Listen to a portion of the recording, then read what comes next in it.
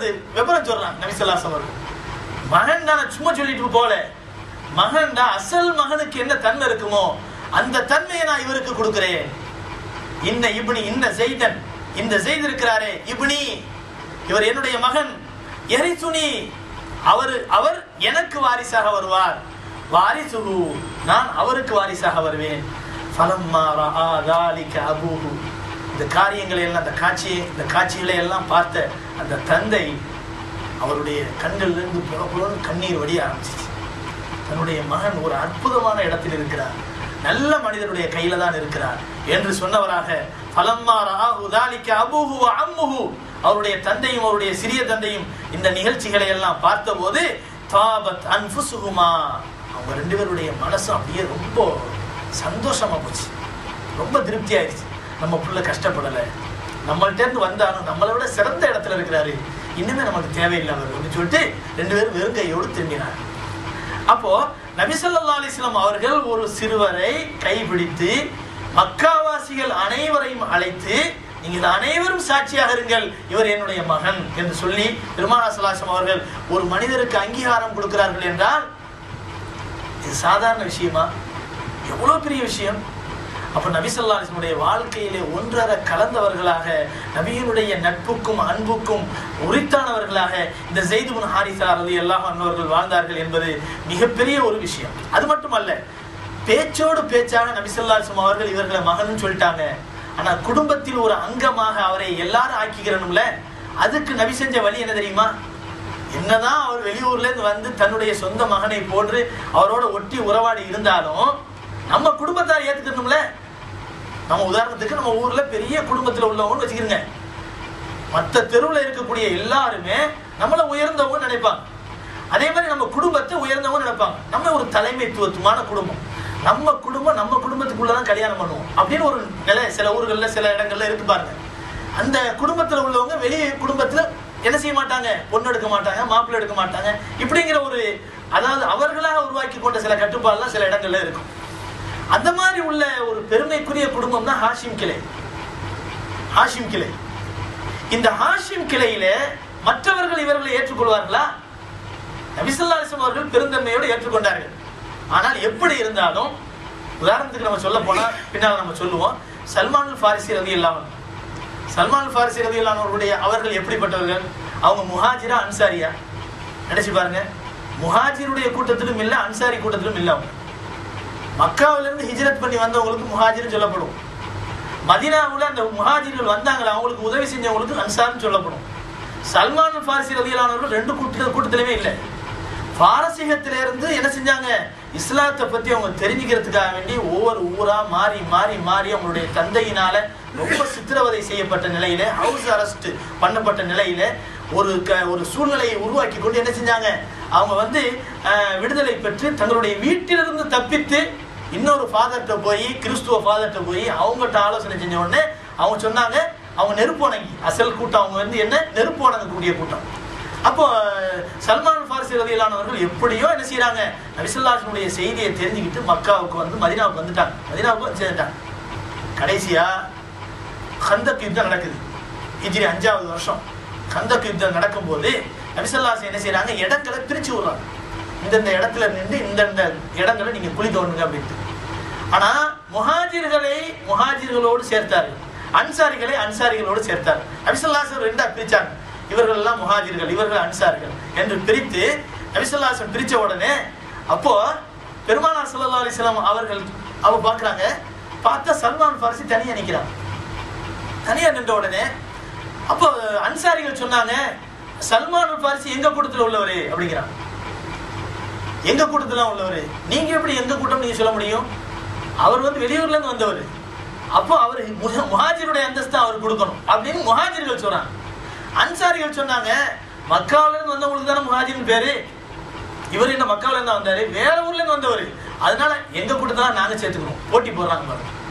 நம்மளா இருந்தா என்ன செய்வோம்? ஒதுக்க பார்ப்போம். இவர் நம்ம இதுல சேர்ந்துடக்கூடாது அப்படின்ட்டு. ஆனா அவங்க என்ன செய்கிறாங்க சேர்க்க பார்க்குறாங்க. அப்ப நபிசல்லா அவர்கள் இந்த ரெண்டு கூட்டத்தாரும் சல்மான் ஃபாரிசியை தன்னோடு சேர்த்துக் கொள்வதை விரும்புவதை நபிசல்லாசம் பார்த்தவுடன் ரொம்ப சந்தோஷப்பட்டு ஆஹா இப்படி ஒரு சமுதாயத்தை உருவாக்க தானே நம்ம நினைச்சோம். அல்லாஹ் தாலா உருவாக்கிட்டான். அப்படி சந்தோஷப்பட்டு சொன்னாங்க. பெருமான சல்லாசம் அவர்கள் ரெண்டு கூட்டத்தாருக்கு மத்திய நடுவுல போனாங்க. சல்மானு மின்னி வான மின்ஹு. சல்மான் என்னை சார்ந்தவர் என் குடும்பத்துல ஒருத்தர். நான் அவரில் ஒருவர் அவருடைய குடும்பத்துல ஒருத்தர். சல்மானை பிரிக்காதீங்க. சல்மான் வந்து நான் எப்படி பொதுவான ஆளா அன்சாரிகளுக்கும் முஹாஜிர்களுக்கும் மத்தியில பொதுவான ஆளா இருக்கிறனோ அதே மாதிரி சல்மான் என்னுடைய கூட்டத்தில் சேர்ந்தவர். அவர் என்னுடைய குடும்பத்தில் ஒருத்தர். அதனால அவர் என்னோட தான் இருக்கணும். அப்படிங்கிற மாதிரி நபிசுல்லா என்ன செய்யறாங்க அந்த தீர்ப்பு வழங்குறாங்க. எதுக்கு இதை சொல்றோம்னு சொன்னா பெருமானா சல்லா அலைஹி அவருடைய அன்பை பாருங்க. எவ்வளவு பாசம். அப்போ ரெண்டு கூட்டத்தார்களும் சரியான முறையில அங்கீகரிக்க வேண்டும். அவர்களை அங்கீகரிக்கப்பட்ட நல்ல மனிதராக தேர்ந்தெடுக்க வேண்டும். அந்த அரபி அதாவது ஹிந்தியில ஒரு உருதுல ஒரு வார்த்தை சொல்லுவாங்க. ஹைக்கின் ஹைக்கின் அதாவது இப்படியும் இல்லை அப்படியும் இல்லை. அப்படிங்கிற மாதிரி இல்லாம ஏதாவது ஒரு சூழ்நிலை சொன்னா இவரை இந்த பக்கம் த- தள்ளலாமான்னு பார்ப்பாங்க. அவர் அந்த பக்கம் தள்ளலாமா? அப்படிலாம் இல்லாம நிரந்தரமான ஒரு அங்கீகாரம் சல்மான் பாரிஸ் ரதியிலானவர்களுக்கு பெருமான சலாசம் கொடுத்தது. அதே மாதிரி ஜெயித் குண ஹாரிதா ரதி அவர்களை இந்த மாதிரி நம்ம சொல்லிட்டு ஒரு கால். நபி இந்த உலகத்தை விட்டு பிரிந்து விட்டார்கள் என்றால் எந்த குடும்பம் அவங்கள வந்து பராமரிக்கும்? எந்த குடும்பத்தில் அவர் சேர்ந்தவராக இருப்பார்? ஒரு குடும்பமும் அவரை ஏற்றுக்கிற மாதிரி ஒரு சூழ்நிலை இருக்காது. அப்போ நபிசல்லாஸ் என்ன செய்கிறாங்க அவரை நம்முடைய உயர்ந்த குடும்பத்தில் ஒருவராக அங்கீகரிக்கப்படணும். தான் மட்டுமல்ல தன்னை சார்ந்த அனைவரும் அங்கீகரிக்க வேண்டும் என்ற ஒரு முடிவுக்கு நபிசல்லாசம் வந்தார். ஹாஷிம் கிளையிலே இருந்த உயர் குலத்து பெண்மணியாகிய ஜைனப் பின் ஜஹஷ் ரலியல்லாஹு அன்ஹா என்ற பெண்மணி. உயர் குடும்பத்து பெண்மணி. அவங்களுடைய வீடு. பெருமானா சல்லாசனுடைய மைத்துனராகிய அப்துல்லா இப்னு எல்லாம் அவங்க அன்ஹு இருக்கிறாங்களே அவங்க வந்து அரண்மனை மாதிரி வீடு. முந்திலாம் சொல்லியிருக்கிறோம். அரண்மனை மாதிரி வீடு.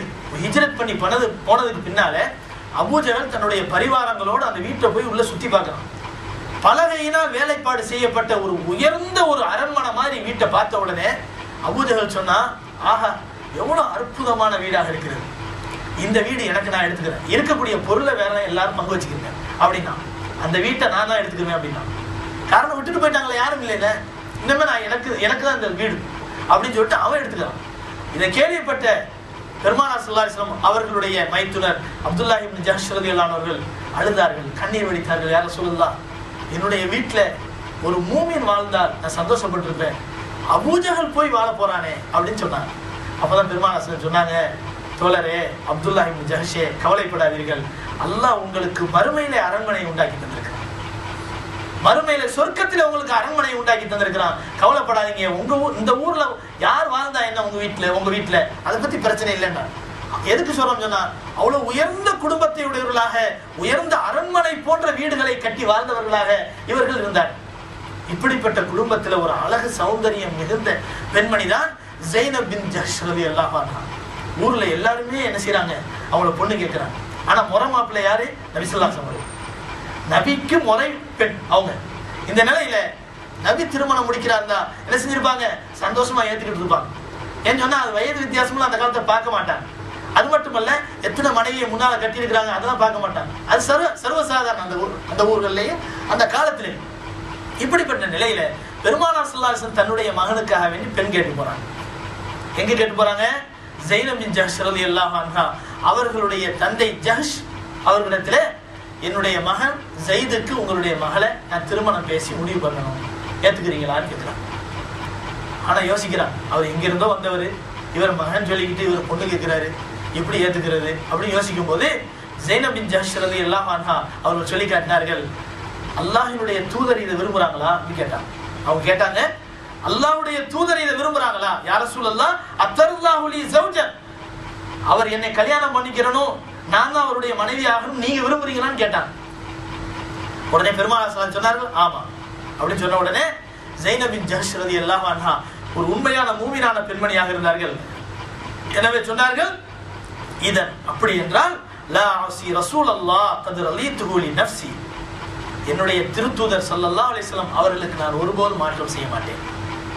என்னுடைய உள்ளம் விரும்புதோ இல்லையோ? என்னுடைய உள்ள விரும்பலதான். செய்த எனக்கு விருப்பம் இல்லை காரணம் அவர் எங்கிருந்தோ வந்தவர். ஆனால் அல்லாஹுடைய தூதர் இதை சொல்கிறார்கள். அதனால நான் இதை மறுக்க மாட்டேன். மாற்றம் செய்ய மாட்டேன். காரணம் என்ன? அல்லாஹ் சூரத்துல் அஹசாப் என்ற அத்தியாயத்திலே அல்லாஹ் சொல்லி காட்டுகிறான். அதாவது சூரத்துல் அஹ்ஸாப் என்ற அத்தியாயத்திலே முப்பத்தி ஆறாவது வசனத்தில் அல்லாஹ் சொல்லி காட்டுகிறான். ஒமா கான லி முஃமினின் வலா முஃமினத்தின் இதா கவல்லாஹு வ அம்ரன் அன் யகூன லஹுமுல் கியரத்து மின் ஒமையாசில்லாஹ் ரசூலவும் ஃபக்கதுல்லல் லலாலம் முபீனா ஒரு மூமினான ஆணுக்கோ ஒரு மூமினான பெண்ணுக்கோ அல்லாஹும் அவனுடைய ரசூலும் ஒரு விஷயத்தை முடிவு செய்து விட்டால் அந்த அதான் விசுவாசியான ஆணுக்கோ பெண்ணுக்கோ மறுபரிசீலனை செய்வதற்குரிய எந்த ஒரு அதிகாரமும் எந்த ஒரு உரிமையும் கிடையாது. அல்லா ரசூல் சொல்லிட்டாங்கல்ல அதுக்கு மேல மேல் முறையீடு மேல் விஷயத்தை நீங்க வந்து மேல் முடிவு எடுக்கிறத வந்து அல்லாஹ் விரும்பலை. அது வந்து ஒரு மூமினான ஆணுக்கோ பெண்ணுக்கோ அழகல்ல. அப்படி யாராவது அல்லாஹ் ரசூல் சொன்ன விஷயத்துல மாற்றம் செய்வார்களே ஆனால் பக்கத்துல முபீனா. ஒரு ரொம்ப தெளிவான ஒரு வழிகேட்டிலே அவர்கள் இருக்கிறார்கள் என்று அல்லாஹ் சொல்றான். அதனால இந்த ஆயத்துக்கு நான் மாற்றம் செய்ய மாட்டேன். அல்லாவுடைய ரசூல் சொல்லிட்டாங்க நான் கல்யாணம் பண்ணிக்கிறேன்னு சொன்னாங்க. கல்யாணம் பண்ணிக்கிட்டாங்க. கல்யாணம் பண்ணுவதன் மூலமா சும்மா இருக்குமா? அந்த குடும்பத்தின் மருமகன் அந்த குடும்பத்து மாப்பிள்ள. அப்ப அந்த குடும்பமே அவர்களை அங்கீகரிக்கிறது.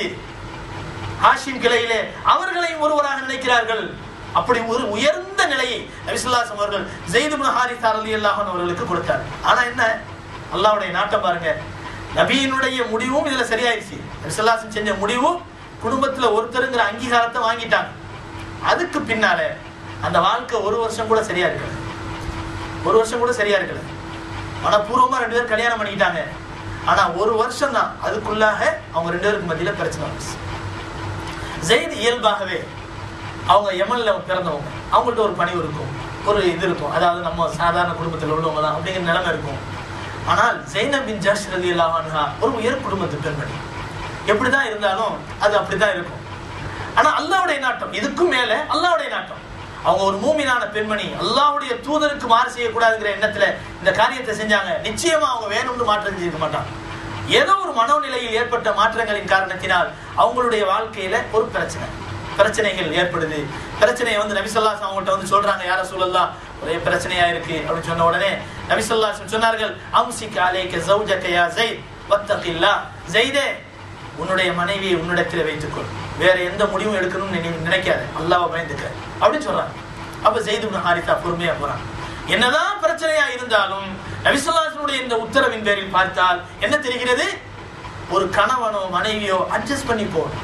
கணவன் ஒரு மாதிரி போனா மனைவி ஒரு என்ன செய்யணும்? அதை அட்ஜஸ்ட் பண்ணி போகணும். மனைவி ஒரு மாதிரி போனா கணவன் என்ன செய்யணும்? அதுக்கு நாள் டைம் கொடுக்கணும். அதை கொஞ்சம் என்ன விட்டு கொடுத்து பிடிக்கணும். இப்படிங்கிற மாதிரி போகணும்.